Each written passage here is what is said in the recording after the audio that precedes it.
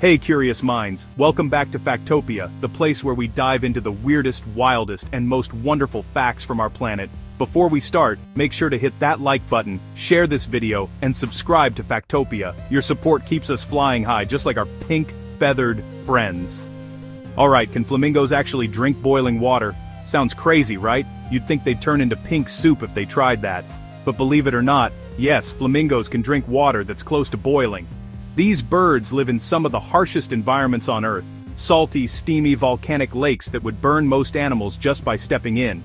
Yet flamingos wade right in, calm and fabulous as ever, like they're at a spa day. So, how on earth do they survive that heat? Flamingos have thick skin and specialized tissues in their legs and mouths that can handle extreme temperatures. Their legs are so tough that they can walk across caustic boiling mud without getting hurt.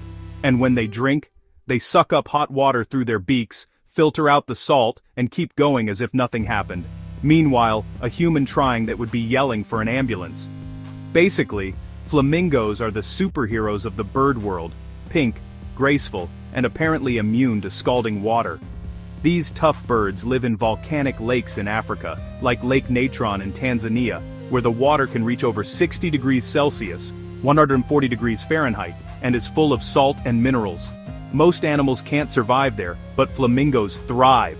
They feed on microscopic algae that grow in these hot waters, and those same algae are what give them their beautiful pink color. So yeah, flamingos don't just handle the heat, they literally get their glow from it.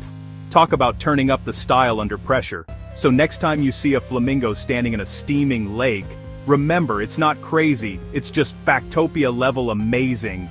If you enjoyed learning about these heat-proof divas of the bird world, don't forget to like, share, and subscribe to Factopia.